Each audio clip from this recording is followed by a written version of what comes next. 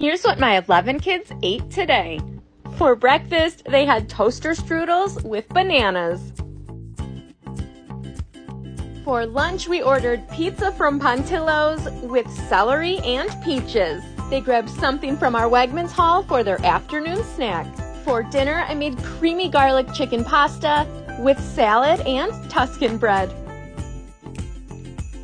And it's Sunday, so we had ice cream sundaes for dessert. Bon appetit!